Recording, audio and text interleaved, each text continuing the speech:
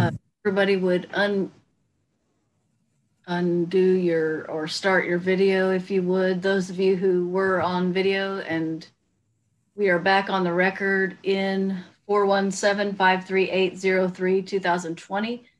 The court has created breakout rooms which were invisible, if you will, to the parties in the hearing and uh, only those members of the breakout rooms were able to maintain their attorney-client privilege. Um, we are back on the record and the court is about to announce my memorandum order from last evening, yesterday afternoon, so that we can have the further clarification uh, and discuss the issue of uh, visitation in between today's date and the date of our continuance. All right, memorandum order. The court makes the following findings. The court issues the following temporary orders. The court finds that the children had been with their father for extended summer visitation prior to the first TRO granted by this court. The court now orders that father receive Zoom visits with his children, 15 to 20 minutes each child, or an hour with all three kids every day at a time arranged by the parties through their lawyers after work so that no conflict with either parent's schedule occurs both parents are ordered not to discuss the litigation or disparage the other parent during these visits. These visits are found to be in the best interest of these children. The number two, the verbal order on August 31st, 2020, which temporarily sealed the case, open parens, sealing backslash open quote gag, close quote order, close paren, was vacated and withdrawn on September 1st, 2020. All parties were emailed this order on September 1st, 2020. Three, the temporary orders heard on August 20th, 2020, enjoined, open paren, prohibited, close paren, Jacob Bellington to be in the presence of the children subject of this suit to be clear, the court now orders absolutely no contact with mother's boyfriend, Jacob Bellington, or any other unrelated male to be around these children. Number four, both parties agreed on record during the August 31st, 2020 hearing to remove all video, audio, and name identification containing the children subject of this suit from all platforms and social media. The court order on August 31st, 2020 did not seek to shut down, control, manage, or seize any account, including GoFundMe, Facebook groups, Facebook, Twitter, TikTok, TikTok, YouTube, or any other platform. The court order solely sought to protect the children's identity via audio backslash video. Five, the court is presently reviewing all previous records from prior hearings, all pleadings and briefings, as well as the transferred records from Comal County, Texas, cause number C2015-0238D, styled in the matter of the marriage of Michael Long and Kelly Long, and in the interest of SALJA, and LAL children. Six, all email correspondence relating to pending cases will be filed with the district clerk for inclusion in the record of the case. Any communication to the court or staff via email must comply with Rules 21 and 21A, Texas Rules of Civil Procedure, and to do so by the fastest means available to the other affected parties or counsel. The provisions of Canon 3B8 of the Code of Judicial Conduct should be carefully reviewed before any person connected with a case attempts any communication with the judge or court personnel. Seven, this case has been set for trial for a trial before the court on November 4th and November 5th, 2020 at 9 a.m. Any other matters in the last TRO will be taken up at the hearing as scheduled on these matters on Thursday, September 3rd, 2020. Signed this second day of September 2020 by me. So, Ms. Graham and Ms. Lishman and Ms. Shemish, we have a, an SPO based on the last order of parents living over 100 miles apart. that is the order that the court is legally permitted to adhere to. That is the last order in place with regard to visitation with the children.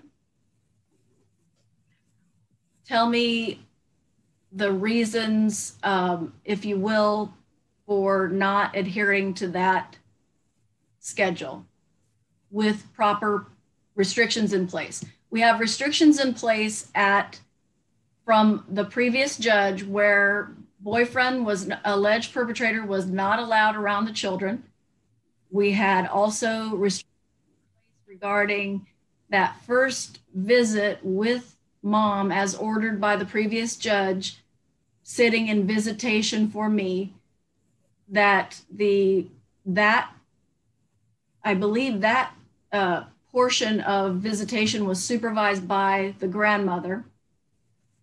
And then we are back to no orders regarding visitation except for the original order in place in the final decree, which was, I guess, not modified in the motion to modify, correct? Correct, Your Honor. Yes, that's my understanding, yes. All right.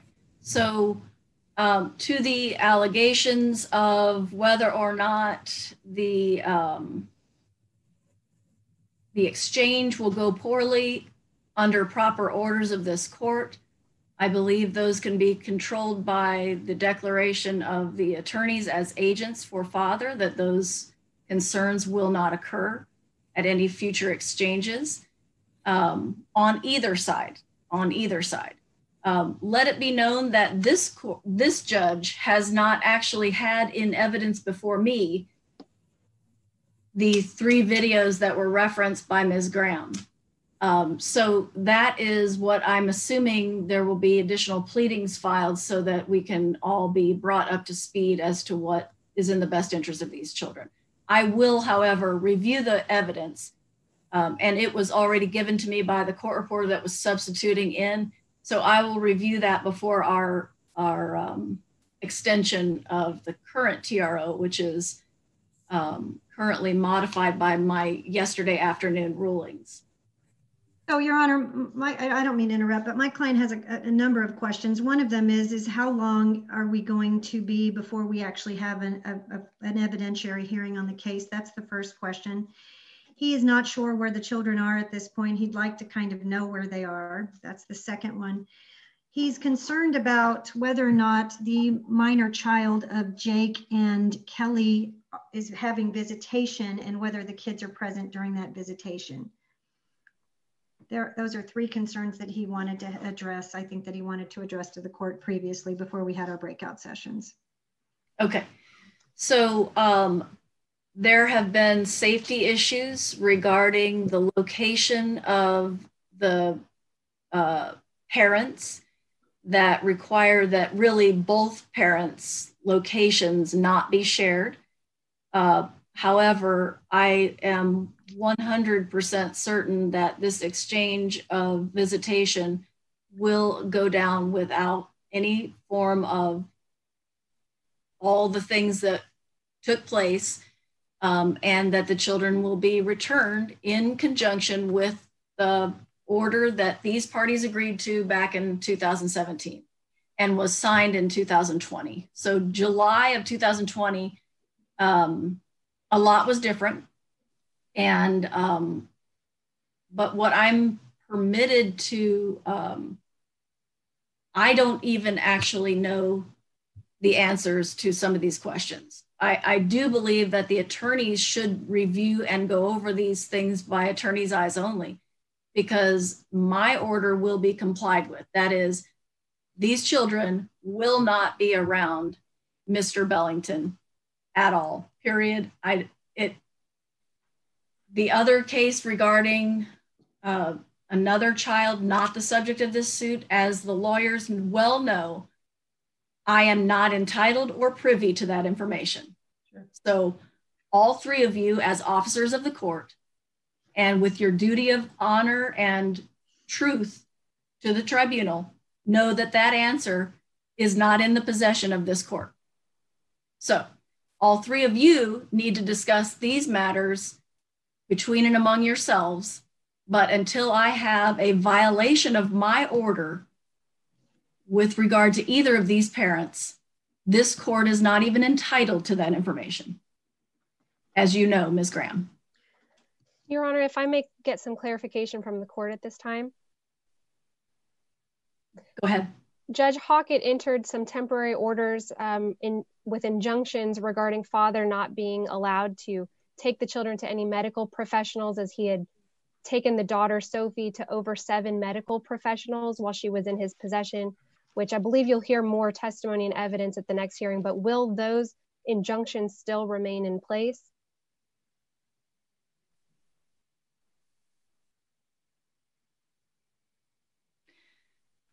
Um, gosh. And also the child, the child was taken to numerous interviews regarding this. Um, and the judge also ordered that only the Child Advocacy Center of Collin County would be able to do one other forensic interview and that dad was prohibited from taking the child to be interviewed by anyone else regarding this. Can I respond to that, Your Honor? Yes. Okay, so the child was taken to a um, three different places. Particularly, the, the reason that she was taken to three different places was because the child refused to be seen by a, a male physician. So on June 28th, the child was taken to Oak Run Medical Center. She had what they called Graham, Ms. Graham, let me let me back you up just because I really do want my own chronology of events. So on June 28th, Sure. The child was taken to Oak Run, Texas Med Clinic in New Braunfels. She had moved bacteria. from New Braunfels.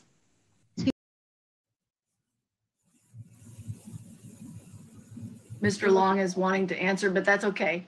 No, um, Ms. Shemesh, do you have the date? I'm looking right now Okay. that only the Child Advocacy Center of Collin County would be able to do one other forensic interview and that dad was prohibited from taking the child to be interviewed by anyone else regarding this. Can I respond to that, Your Honor? Yes. Okay, so the child was taken to a um, three different places. Particularly, the, the reason that she was taken to three different places was because the child refused to be seen by a, a male physician. So on June 28th, the child was taken to Oak Run Medical Center. She had what they called Graham, Ms. Graham, let me let me back you up just because I really do want my own chronology of events. So on June 28th, Sure. The child was taken to Oak Run, Texas Med Clinic in New Braunfels. She had bacteria. moved from New Braunfels. excuse me? Why would anyone move from New Braunfels, I know, isn't that the truth? What? Okay. So the child was taken, she had bacteria in her urine, so they took her to Oak Run. She continued to have issues. She was taken on July the 2nd to a place called Little Spurs. They gave her a round of antibiotics for her vaginitis and what they considered to be a yeast infection. She went on visitation with mom on the 10th, 11th, and 12th of July. She came back from mom's visitation on July the 16th, or from mom's visitation on the 12th, and she was taken back to Little Spurs on the 16th. On the 16th, she continued to have pain or she continued to have issues where she couldn't even sit down. And they gave her another round of antibiotics, I believe. And then on the 25th, she was taken to Dell, Children's Hospital or Dell Children's uh, facility. So she was taken to three different places Little Spurs, Oak Run, and Dell Children's.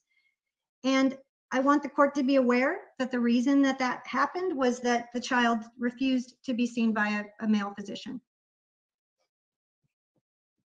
Thank you. Sure. I'm sorry, Your Honor, this is Um, where we'll probably need a very extensive hearing. Dr. Morgan, who was one of the doctors that dad took her to, gave, gave very interesting testimony um, regarding the threats from the father that she felt. I- And this is where I feel like, Your Honor, we really need a, a long evidentiary hearing to hear all of these issues. Agreed. I Um, agree with that as well. You will, you will absolutely get that. I don't know exactly what the date will be. Um, I'm going to have to consult my calendar because this really does need some time. There were more places in addition. There was a, an urgent care in Temple, Texas that Michael Long's wife took the child to.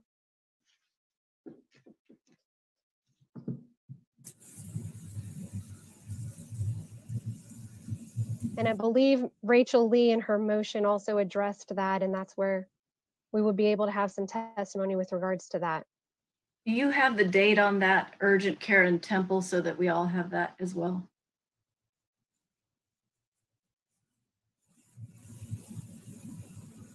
Mr. Long is wanting to answer, but that's okay. No, um, Ms. Shemesh, do you have the date? I'm looking right now. Okay, Because my information is that Dr. Morgan never had any interaction with Mr. Long at all. So, I mean, I, we can have this at a hearing. I'm, I'm sure that we'll have to get out the testimony and before the eh, court, obviously, but I'm just Your Honor, asking for we're- the date. I'm just asking for the date of urgent care.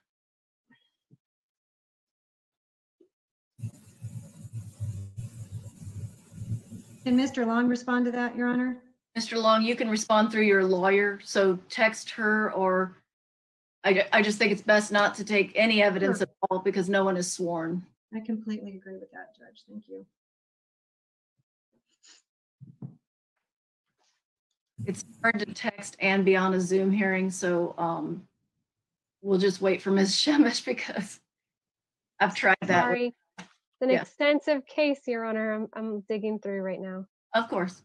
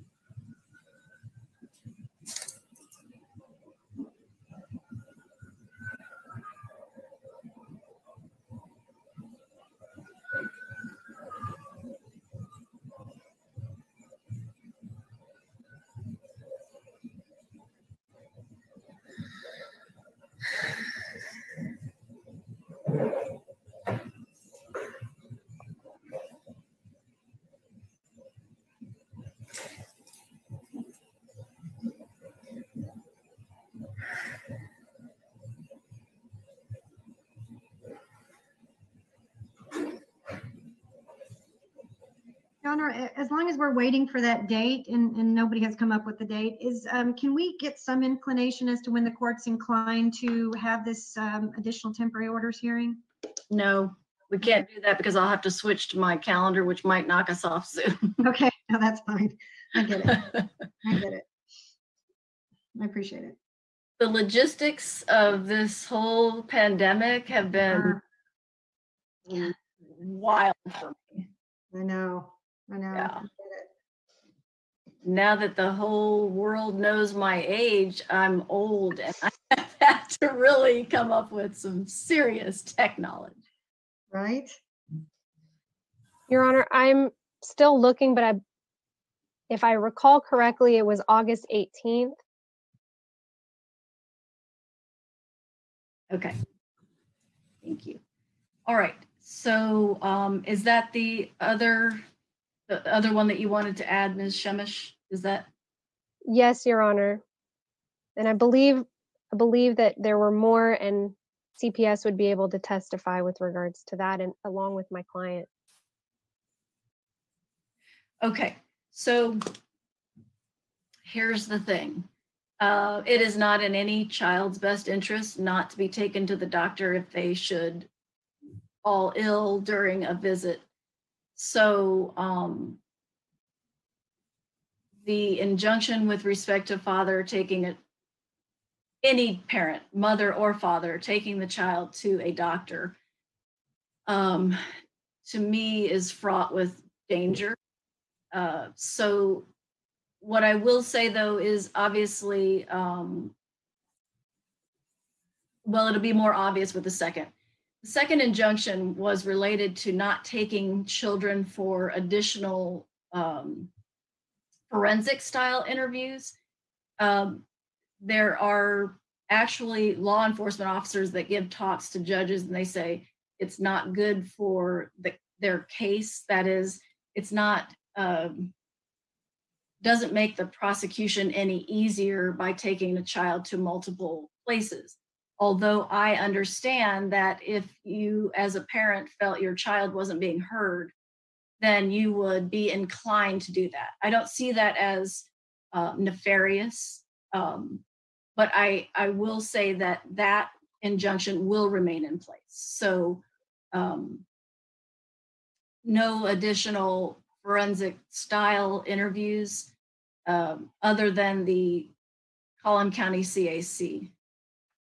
May I get a clarification on that, Judge? Because it's, it's my understanding that the amicus attorney did herself engage in what would be kind of a forensic interview of this child. And if we appoint a new amicus, that would lead to a, another interview. I'm just trying to let, you know, get a little clarification on the amicus. If you appoint somebody else, are they permitted to, to talk to the child and essentially conduct their own forensic interview? And if that's the case, I would, I would have to ask for somebody who's actually qualified to be able to do that, who has the training and the experience and the credentials to know how to do that in an appropriate way. Right.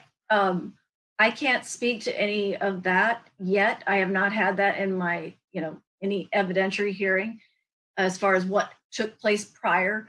I have not appointed a new amicus, and I don't know at this point.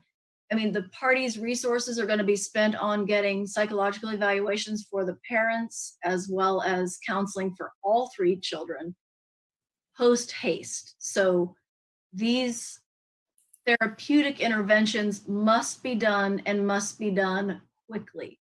We need healthy emotional folks to take care of their children and co-parent them until the age of 18 so um, keeping children safe is not just uh, whether or not one person or the other is guilty of a crime there are so many other layers of collateral type safety that have to be addressed by both parents going forward um, and the trauma of just the court case that the children will necessarily be suffering from. So let it be known that the resources of this family should be focused not on um, not first on a court battle but first and foremost on every person in this family that is not together anymore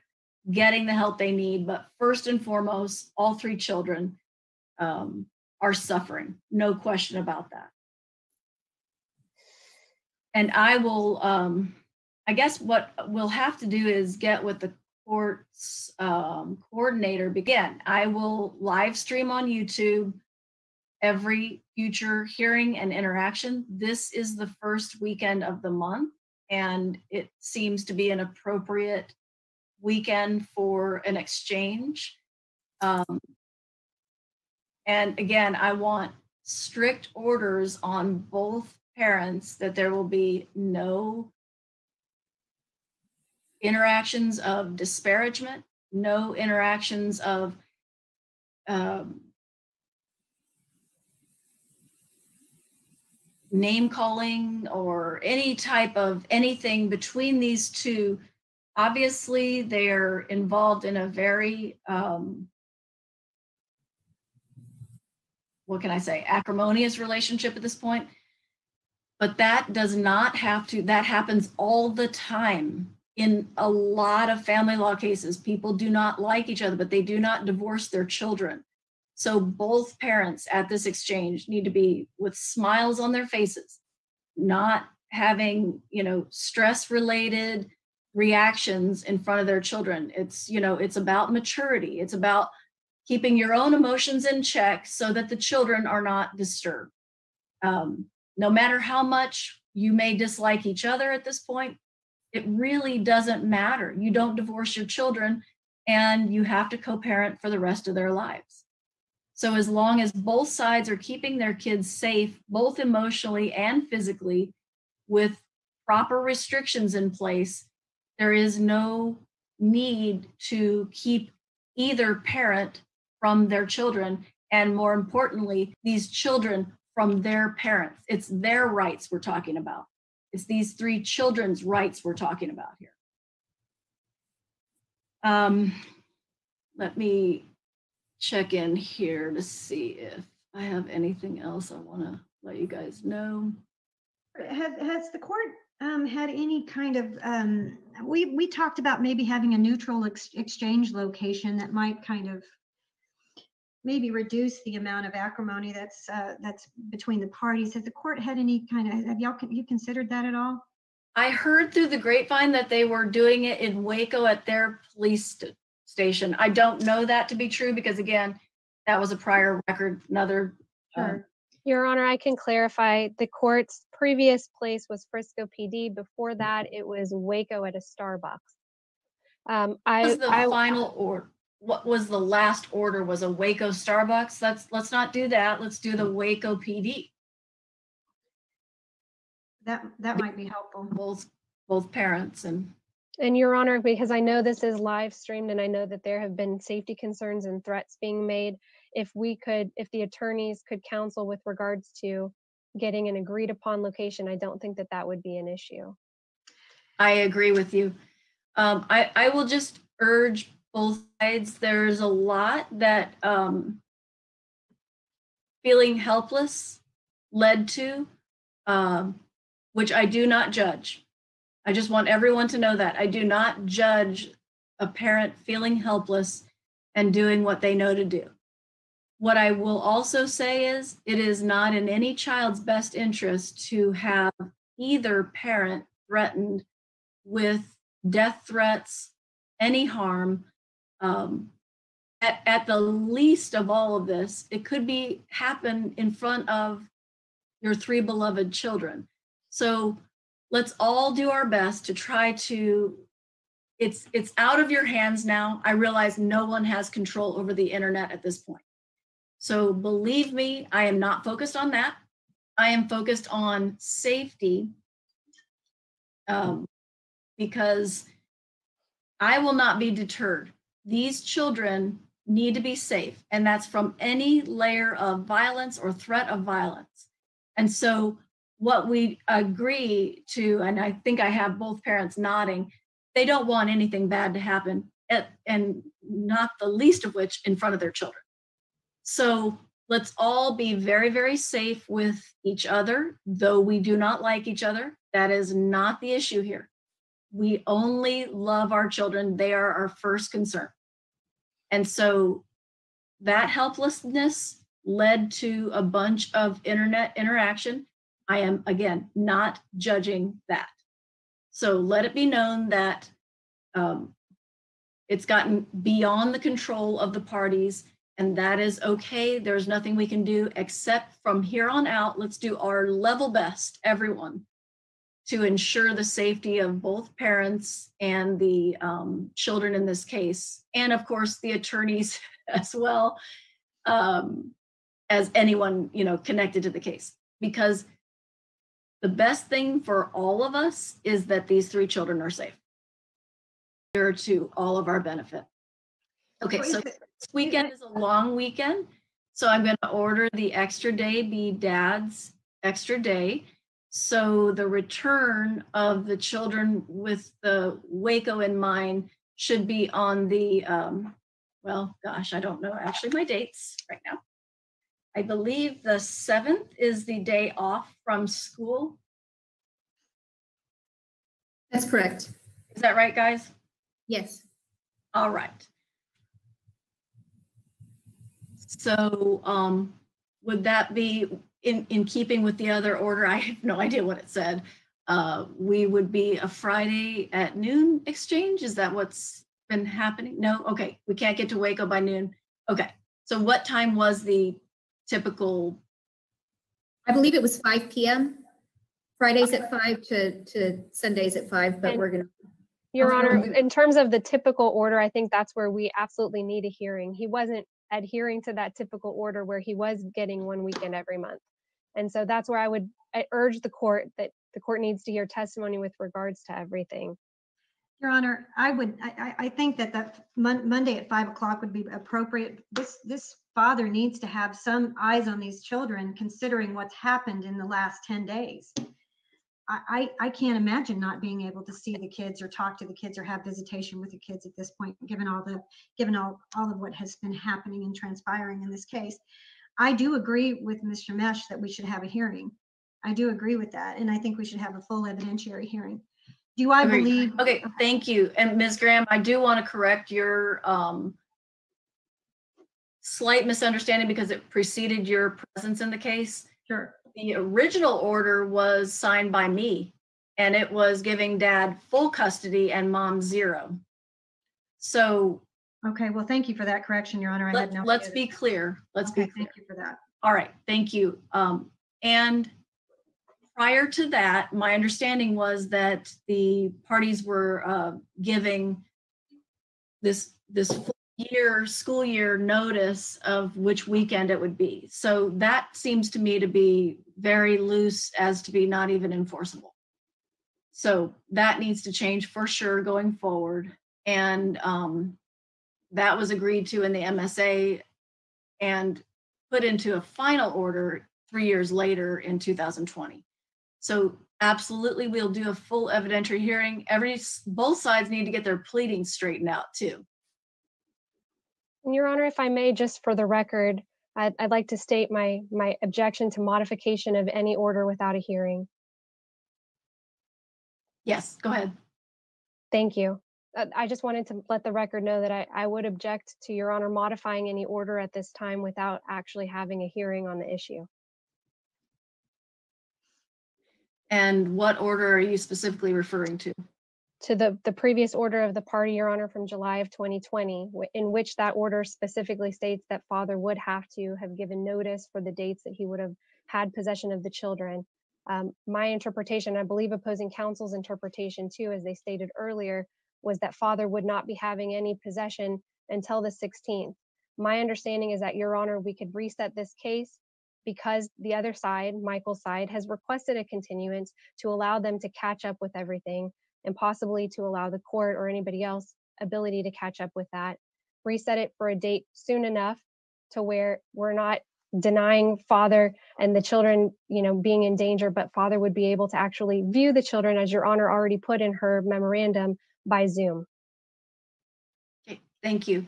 The court still modifies the extent of modification of the 2020 July 7 order. The extent of the modification is the lack of notice to mom.